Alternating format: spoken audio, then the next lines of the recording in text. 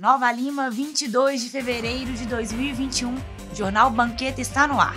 Confira os destaques de hoje. Quarentena estimula o cultivo de plantas dentro de casas e apartamentos. Moradores denunciam e sofrem com descaso na região do Cascalho. Cadastro de artistas no mapa cultural finaliza nesta terça-feira. A atualização dos números da Covid-19 em Nova Lima. Inscrições abertas para jogos escolares de games virtuais e ainda a previsão do tempo para terça-feira. Veja agora o Jornal Banqueta.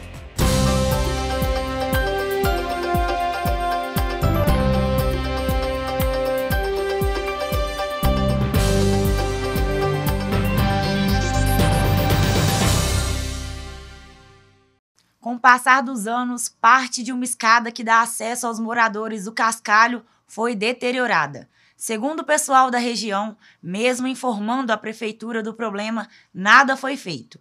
E agora a escada caiu de vez, agravando ainda mais a situação do lugar. Revoltados, os moradores denunciam que a região, de forma geral, é motivo de descaso pelo poder público.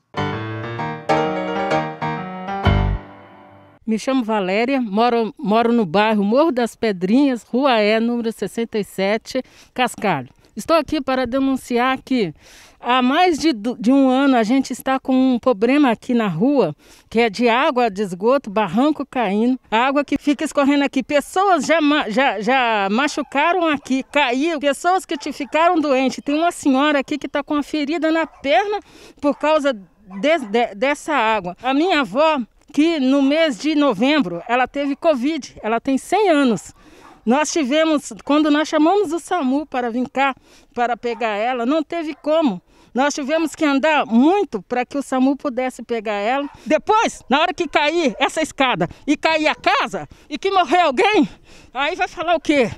Que é eventualidade? Não é não.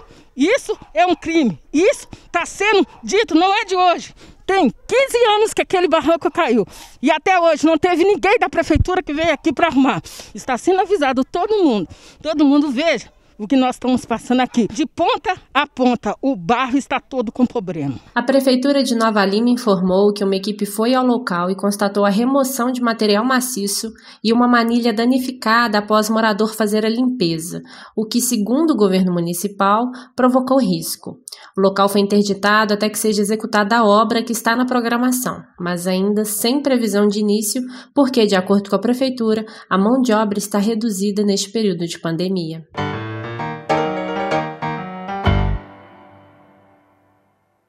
Termina nesta terça-feira o prazo para o preenchimento do formulário do mapa cultural criado pela Prefeitura de Nova Lima, que tem o propósito de mapear e conhecer mais os artistas novalimenses e a cadeia de serviços e espaços artísticos que a cidade oferece podem responder à pesquisa todas as pessoas que participam da cadeia produtiva dos segmentos artísticos e culturais, como artistas, dançarinos, atores profissionais do audiovisual, cantores, entre outros. O formulário para os artistas está disponível no site da Prefeitura.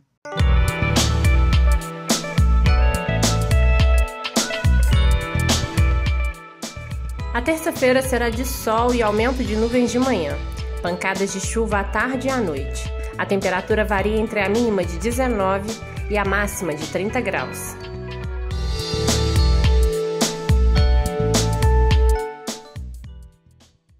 O município de Nova Lima está há 12 dias sem registrar nenhuma morte em decorrência do coronavírus.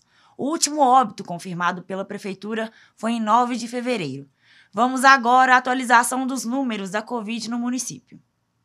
De acordo com o boletim divulgado pela Prefeitura de Nova Lima nesta segunda-feira, até o momento ocorreram 11.043 casos confirmados de Covid-19. Deste número, 10.728 foram recuperados. Com isso, existem hoje 222 pessoas infectadas e 2.459 casos em investigação. Continuamos com 93 mortes na cidade pela doença e nenhuma está sendo investigada. Ainda segundo a prefeitura, 23 pacientes estão em internação, sendo 10 em clínica médica, 9 em UTI e 4 em pediatria. A seguir, quarentena estimula cultivo de plantas em casas e apartamentos.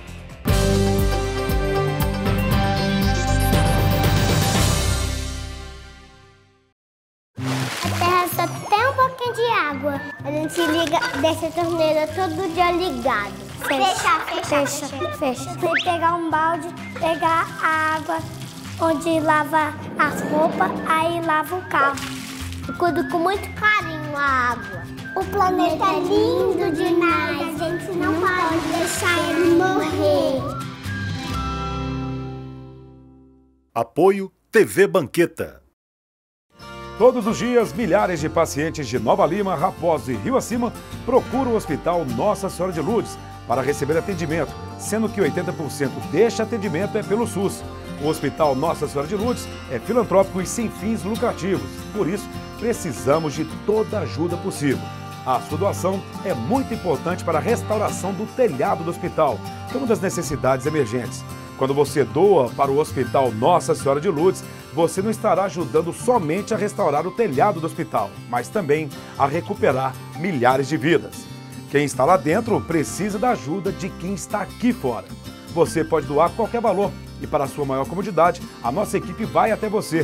Seja um amigo do Hospital Nossa Senhora de Lourdes. Envie a mensagem Quero Doar para o número que aparece aí no vídeo e saiba como ajudar.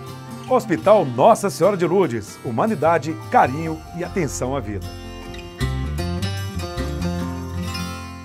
Apoio TV Banqueta. Se liga, deixa a torneira todo dia ligada. Estamos saindo toda a água. Nossa, Deus. Fecha, fecha, fecha, fecha, fecha. Senão o planeta vai ficar todo, todo vazio. Tudo vai ficar seco. É. Se acabar a água dos planetas bichinhos vão morrer a gente também. Até a árvore. A gente tem que cuidar do planeta para não acabar. Apoio TV Banqueta.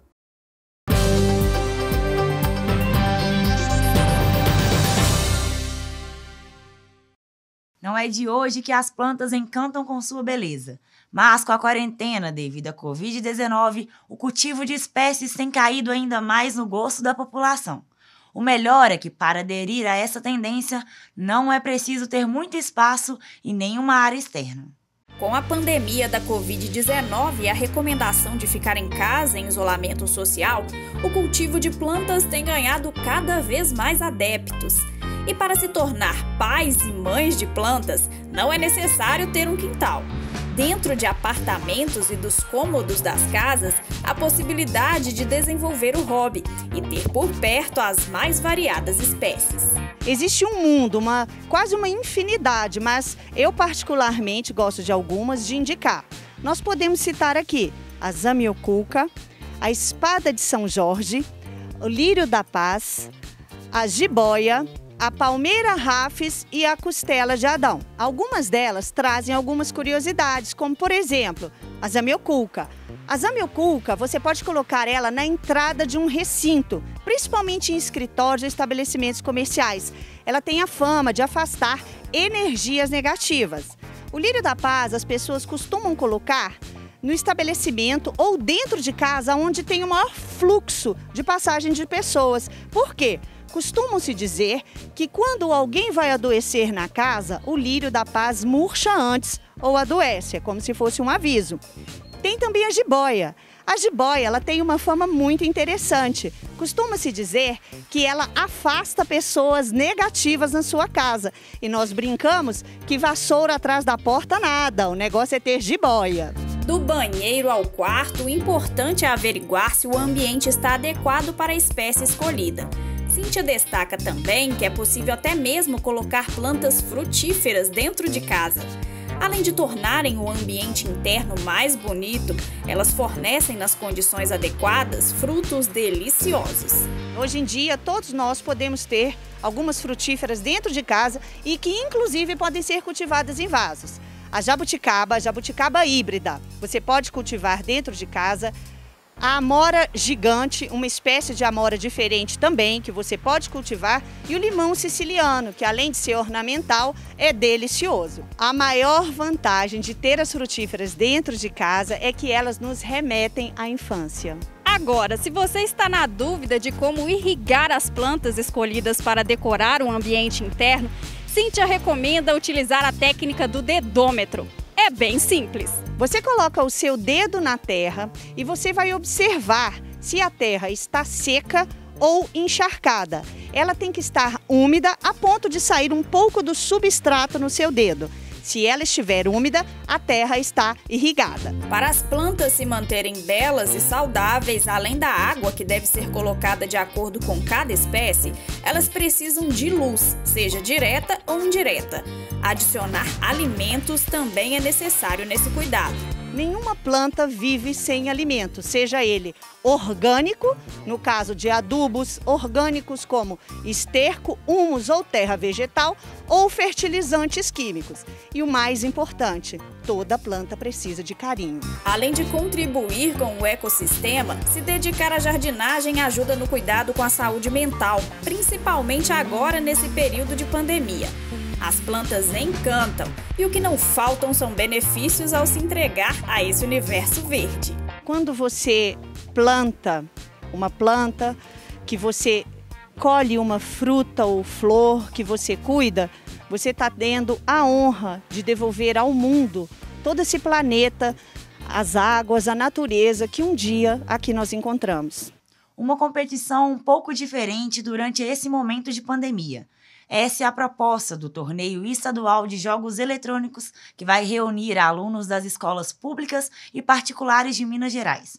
Serão duas modalidades: futebol FIFA 2020 e basquete NBA, ambos para PlayStation 4. As competições serão entre os meses de abril e maio. A inscrição, que termina dia 19 de março, é online e deve ser feita pelos professores dos alunos. Para mais informações sobre o cadastro no torneio, acesse o site da Prefeitura de Nova Lima. O Jornal Banqueta termina aqui.